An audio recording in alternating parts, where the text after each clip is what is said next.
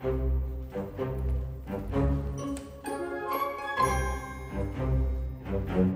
I grow up, I want to be a protector of the people.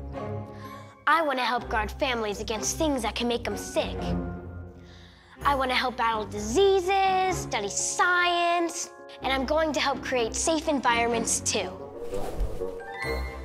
Is it a doctor? Are you going to be a superhero? I'm going to have my own pest If I do pest control, I can be on the cutting edge of science with one of the most important jobs in the world.